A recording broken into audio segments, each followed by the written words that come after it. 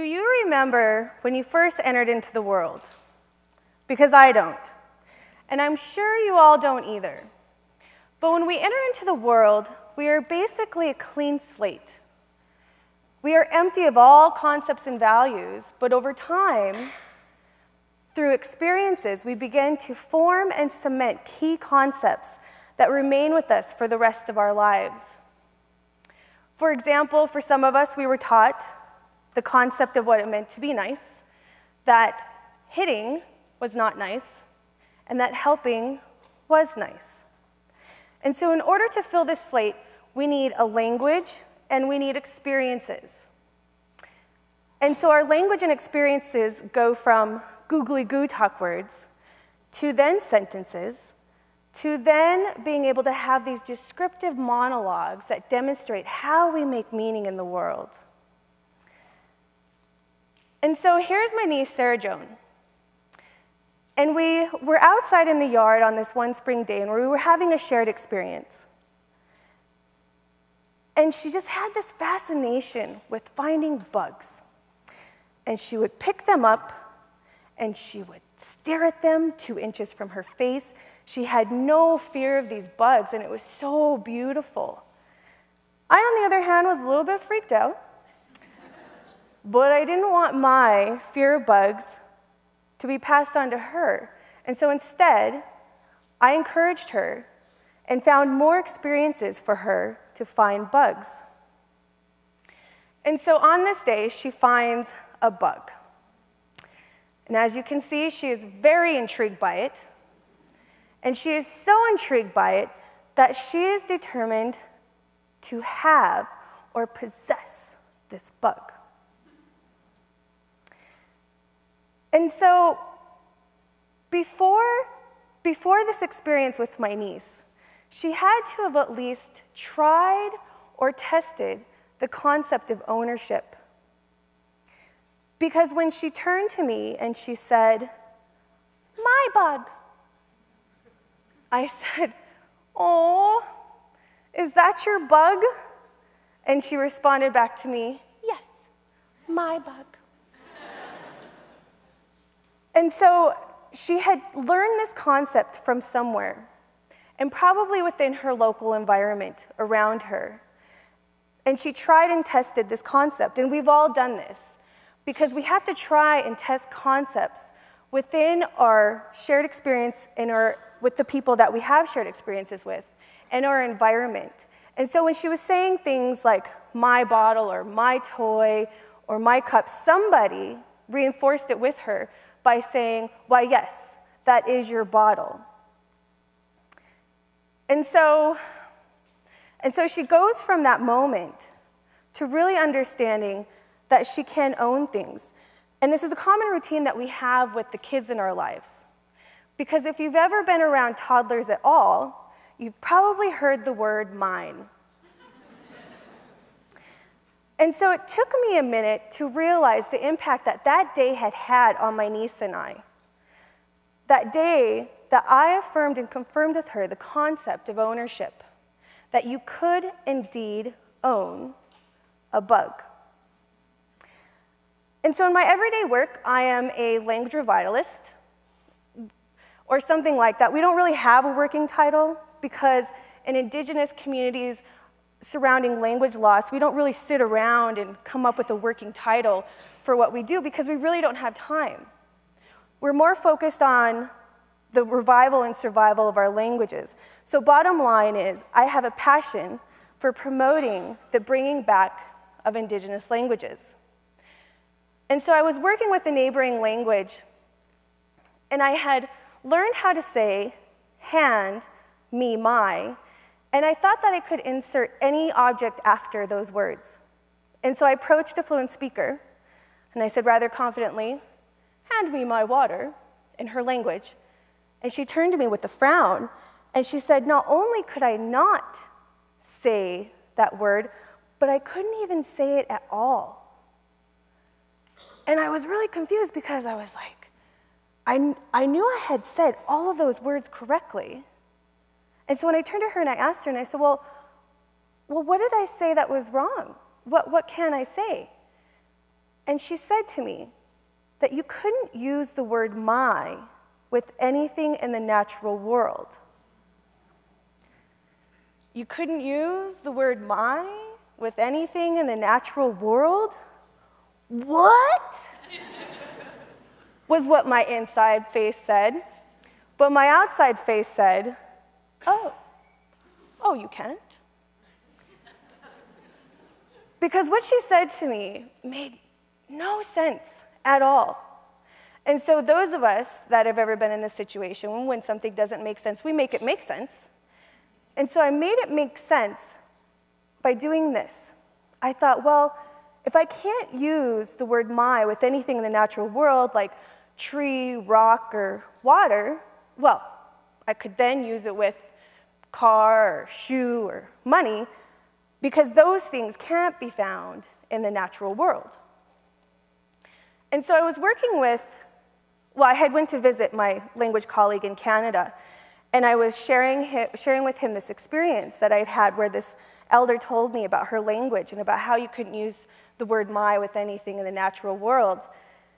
And all of a sudden, this huge, this ginormous realization hit me. And I believe it went something like this Oh my God, oh my God, oh my God. and I turned to him and I said, Do you think that maybe what she was saying is that in her language, they don't have the concept of ownership?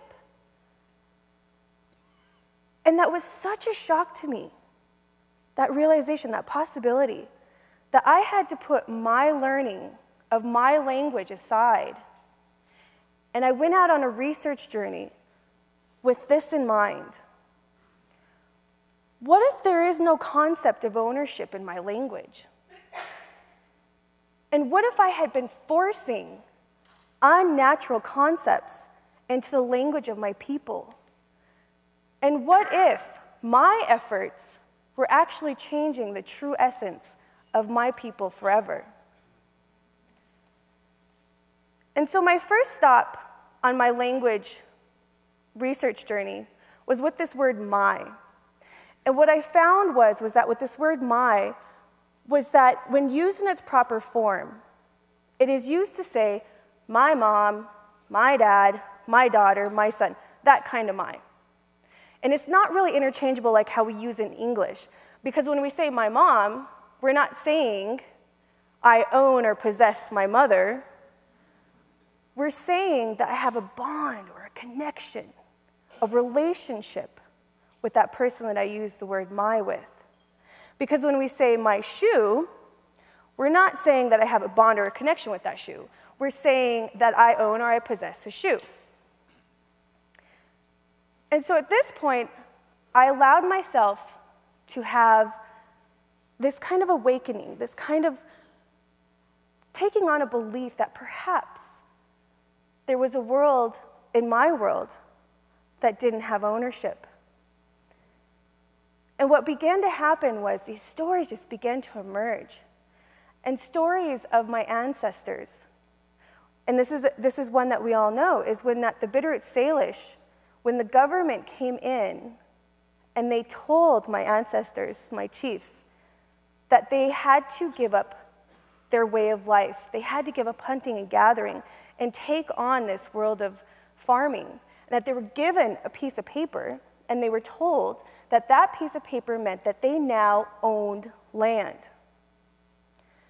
And another colleague told me that her mother and grandmother were walking through land that they had walked through forever, and they were all nearly killed because they didn't understand the concept of trespassing, and they were on a new settler's land.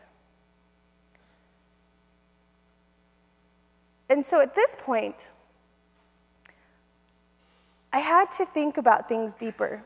And this elder told me, she opened my eyes and because she, she told me that there's this old saying adapt or die. And, and this realization hit me that, wow, that's what had happened, is that my people had to take on this concept of ownership as a matter of survival, or they could have truly died. I was talking to some elders, and, and, I, and I decided to create this test phrase just to see about this my water in my language. And so I approached this one elder and I said, Is it possible to say my water in our language? She kind of chuckled and she said, No, no, it's not possible. And, but then she stopped herself and she said, Well, actually, you could say my water, because if you owned a piece of land and that water went through it, then you could say my water.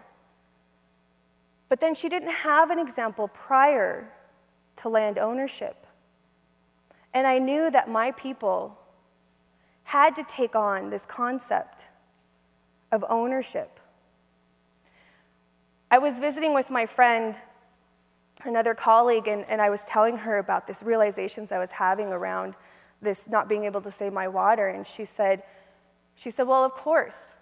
Of course, April, of course you can't say my water. Because sawat, our word, our Salish word for water, sawat, the root word means to ask. And when she told me that, I realized that this word had never been properly translated for me. Because I had taken water for granted this whole time, my whole life. I had used it to bathe in, to wash, to wash clothes, to quench my thirst. It was a thing that I could possess or own and use how I liked. That was water to me. And when she said that, the root word was to ask. I imagine my ancestors having this connection to land in a way that I didn't understand because they knew that water was so vital that we would cease to exist without it. So you had to ask to use it.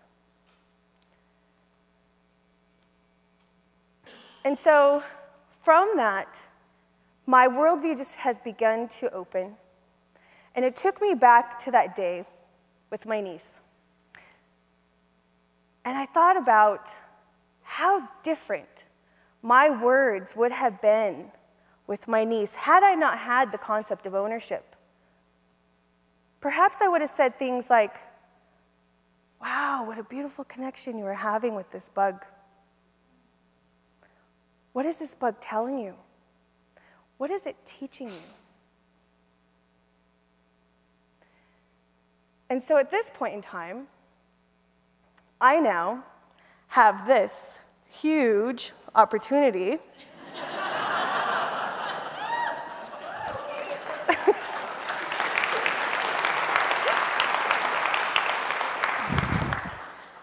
this huge opportunity to revitalize not only my language, but the values and concepts, the deeper meaning of my language that goes with it. And I can teach my baby a world without ownership and to teach him how to be more connected to the world rather than just owning pieces of it. Lem Lemsh.